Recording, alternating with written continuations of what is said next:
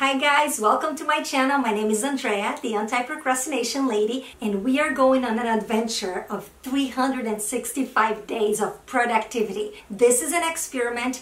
We are going to ditch procrastination and we're gonna get things done. Today is New Year's Day everything is kind of calm. I'm busy with my daughter, so I decided to do something that's fairly simple and quick to do. Day two of 365. I love bracelets and I wanted a message that was a constant reminder that I can do hard things. So I went on Etsy and looked for a bracelet. I couldn't find anything. So I messaged this one shop that I liked the look of a bracelet and I said, can you customize that for me with this message?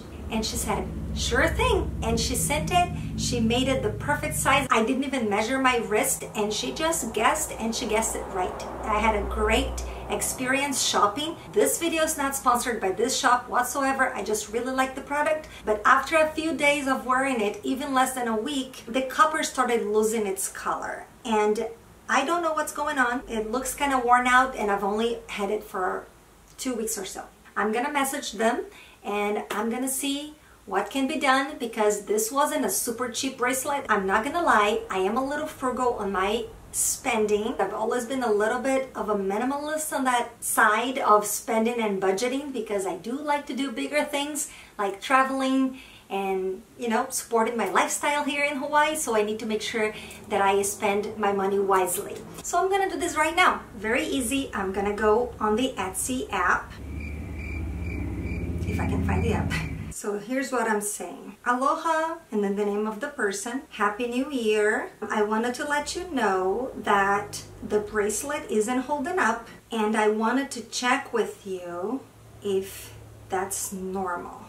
Please take a look at the pictures and let me know your thoughts. And send. I'm gonna send the pictures, take a photo.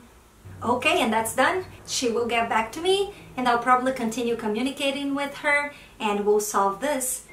Oh, well, that was fast. Hmm, okay. So apparently copper does tarnish. I have never owned anything made of copper and she will send me some cleaning instructions as far as the leather.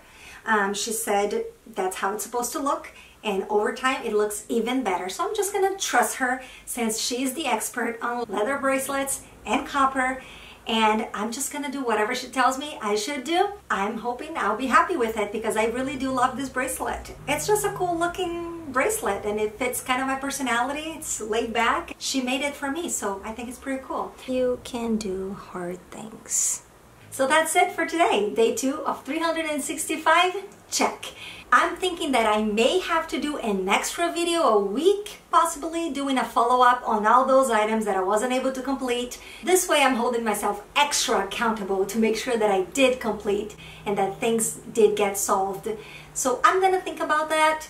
Um, if you guys have any ideas, leave in the comments below. If you like this video, if you like this idea of being more productive and doing things, that need to be done. Make sure to like this video. Also subscribe to the channel if you're not subscribed yet. Activate the bell so you are the first one to know when a new video is up. And thank you so much for your support and for being here following along with me. I'm loving the feedback that I'm getting from the people that I know personally, getting motivated and inspired to get things done as well. Thank you so much and I will see you next time. Ciao, ciao.